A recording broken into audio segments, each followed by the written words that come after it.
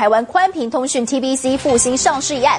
C C 专案报告也在昨天出炉了，证明其中确实有三十七名疑似大陆人民共持有 APTT 信托凭证百分之零点零六。那么现在朝野立委真的是高分贝的痛批 NCC 失职，自打嘴巴哦。那么也点名 NCC 主委石世豪，如果说 NCC 放逸放行这样子一个状况，那么就会把石世豪呢送到了监察院来弹劾，同时呢也认为他应该要下台负责。